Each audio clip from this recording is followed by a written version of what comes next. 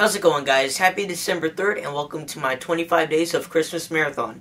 Today I'll be reviewing a film. Um, this is a movie not to be confused with the 1998 uh, Jack Frost uh, cheesy kids movie, I don't know. Um, this is the good old version, the one that we all horror fans know and um, yes it is uh, Jack Frost and as you can see I have it at um, the letterbox version which is very very rare and um, I think if you look up the letterbox version on um, Amazon. It could go up to a hundred bucks. So um, yeah, these are very rare, very out of print. So um, I'm glad to have this.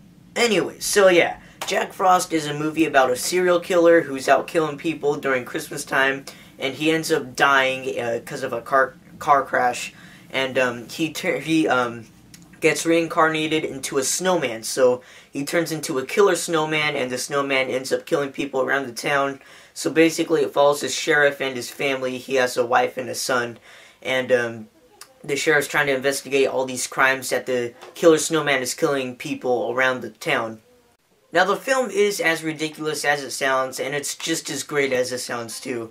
Um, yeah, it's one of those so it, very bad that it's great kind of movies. Like, like you know, you you just you laugh at it because it's so horrendously bad. But the thing is, I they, they purposely made this bad, so I guess you could consider it a horror comedy and not a movie that is meant to be scary. It really is not scary. Um, but yeah, so this movie is a good time. You're gonna laugh a lot.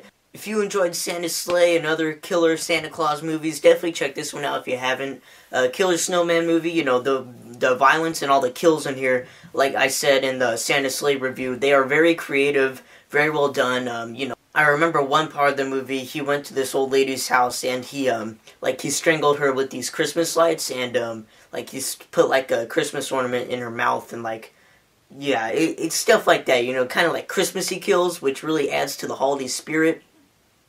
yeah, alright, um, so yeah, um, Jack Frost, it's, it's crazy, it's stupid, and it's just a lot of fun. And, um, overall, I'm probably gonna give this film three candy canes out of five. Um, you know, I'm gonna give it three, mainly because, you know, it's not the best movie in the world.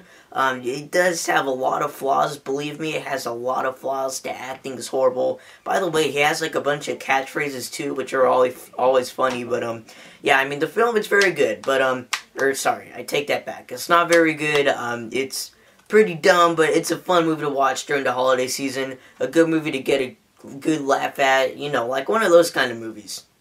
Alright guys, I'll be sure to review Jack Frost 2 tomorrow, and um, stay tuned for that review, and I will see you guys later.